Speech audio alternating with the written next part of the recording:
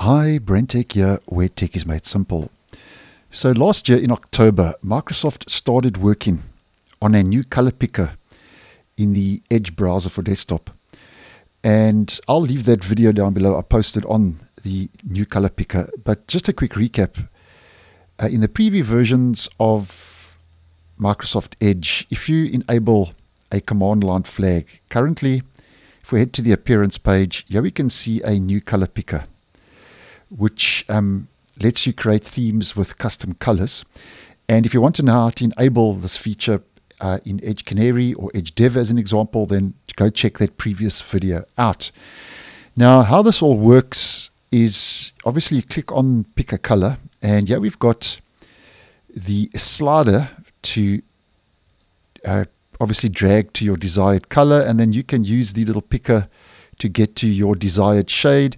But currently, um, how this all works, which I'm showing you now in Edge Canary 122, which is uh, the latest preview version, is the only way you can apply that color to your browser is to click somewhere else on an empty space in the browser. So there we go, and you can see my toolbar, title bar, sidebar, and so on. The color of that has been changed to the blue theme.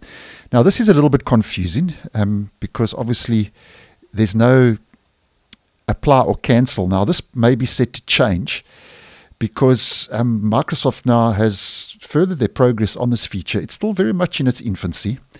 And if we just head over to a screenshot once again provided by Leo over on X, here we can see now that they are starting to roll out an apply uh, tab, which I think will be a nice move, a cancel button and tab.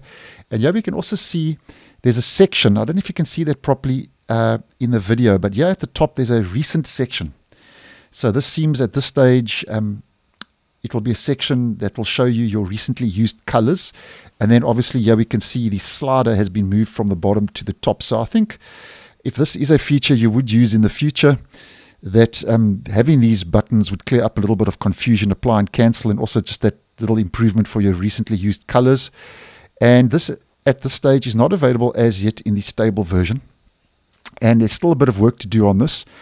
But um, I personally do feel a feature like this uh, could make its way down into the stable version. And if and when that does happen, obviously I will keep you guys posted and in the loop. So thanks for watching, and I'll see you in the next one.